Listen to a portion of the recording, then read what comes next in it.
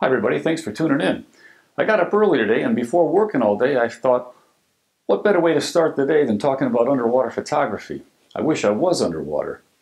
Uh, and that's what we're going to do. But first, one more swig of coffee. Okay, we've talked about backgrounds. We had an earlier episode on get low, shoot up to get an open water or non-distracting background. In our previous video, we talked about finding a pretty or colorful or appealing background to highlight our subject. But sometimes we might find a cool subject, but no matter what we do, the background is hideous. Well, we do have ways of dealing with a distracting or ugly background. And that's what we're going to talk about in this tutorial. Basically, we can open our aperture and blur the background.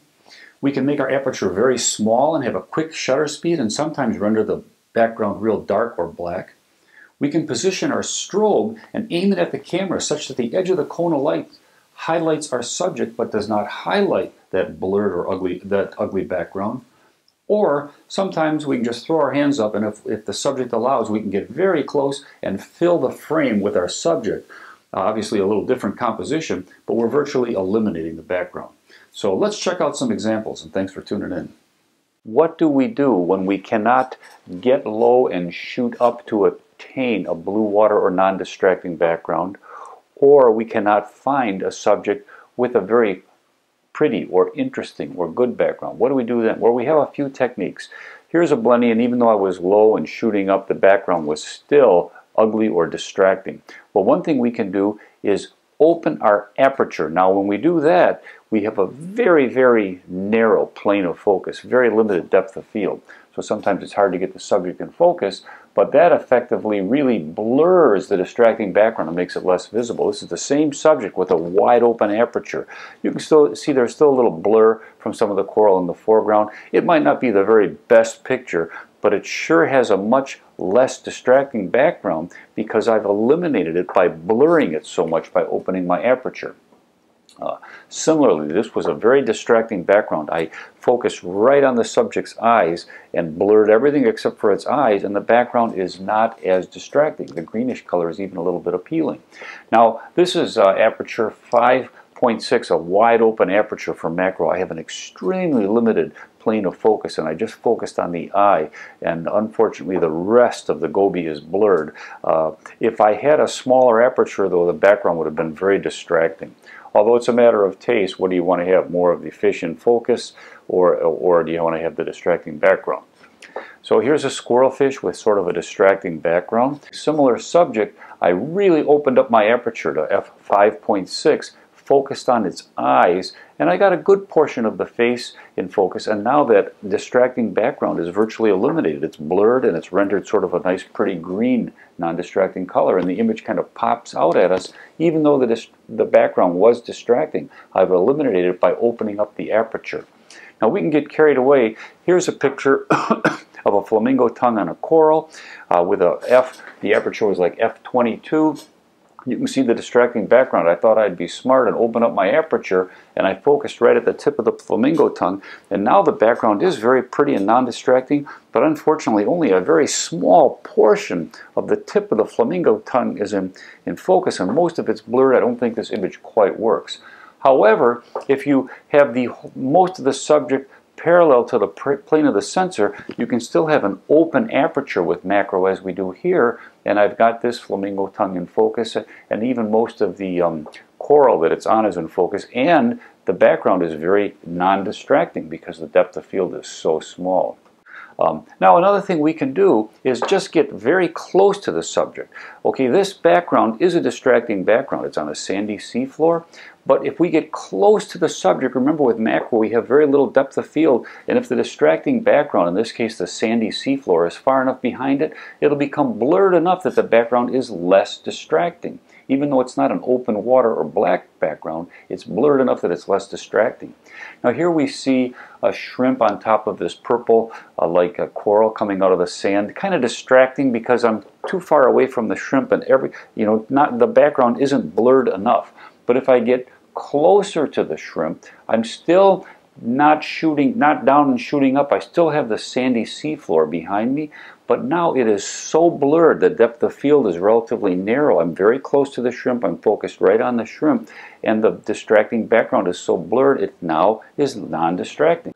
Here's an octopus on a sandy seafloor. I couldn't get low enough into the sand to eliminate the distracting background, but I got closer and closer to the face of the octopus, and even though now the background is sandy and distracting, it's so blurred that the octopus kind of pops out at me more. So I'm getting closer to the subject, focusing right on the subject, and with my quite limited depth of field, I'm rendering the background quite blurred, even though I don't have a real open aperture. Again, here's a mantis shrimp, distracting background. So I get closer to the shrimp and I'm not really down and shooting up. I still have a distracting background, but I'm focused more on the face and the eyes of the shrimp and the background is more blurred so that the subject, the eyes of the shrimp, pops out at me a little bit more, even though this is a relatively smaller um, aperture. Uh, again, I have, I'm focused right on this goby and the background, even though you can see there's a distracting background, it's blurred enough that the colors actually might even add to the image than, it, than if it was an otherwise blue or black open water background. And not to beat a point home, but here's another picture of a crab on a sandy, distracting background. I got really close, focused right on the crab's face, and now even though the sandy background is still there, it's less distracting, and the crab pops out at me more. Of course, with super macro, we have such narrow, zero depth of field, really, that if you focus on the subject, no matter how bad the background is, if it's even only a tiny bit away as it was here, it's still rendered blurred and the background is relatively pretty. Now, another thing we can do is keep our fast shutter speed, like in this case, 1 to 2 hundredths of a second to sync with the camera, but close our aperture very small. Here it was 1 to 32. I mean, not right here, but on the next one. So here we have a distracting background, but I really closed my aperture, and now I've eliminated the background because I've rendered it black. There is that sandy seafloor behind this small cuttlefish. Look at how it's black now because I have such a small aperture. I've pulled my strobes in a little tighter and I can still illuminate the subject, but I have now the distracting background becomes non-distracting because it's black. And here, uh, that background was distracting, but I really made my um, aperture very, very small to render it dark, almost black. A final thing we can do is we can pull our strobe so that we're aiming our strobe sort of back at the camera and the cone of light still catches the subject, but the cone of light of the strobe no longer illuminates the background. So even though this background was quite distracting, I'm not really illuminating it with my strobe so it becomes darker, less visible, and the image kind of pops out. That distracting background is now not as noticeable because of the strobe position. Now when I'm putting my strobe above me and, and pointing it back toward the camera, I am illuminating the water column between my camera and the subject, so this could create some backscatter. Similar situation, a distracting background behind this goby. I had my strobe above the camera, aiming it toward the camera, and I just, the cone of light caught the goby and part of the coral, and then the water column between the goby and my camera, but it did not illuminate. The cone of light from the strobe did not illuminate the background behind it, and now the background is not distracting. Finally, the last thing we can do, now this changes our composition of the picture because we're really markedly changing our proximity. But this beautiful frogfish was just, I couldn't get rid, I couldn't get low enough to eliminate the distracting sandy background, so I got right up to it and filled the frame with the subject. And now we've eliminated the background because there is no background. Now, of course, we have changed our composition. Again, uh, this frogfish, uh, nice, beautiful frogfish, but on this uh, kind of distracting sandy seafloor, I get in real tight and I fill the frame with just a portion of its face and voila, no background to be distracting.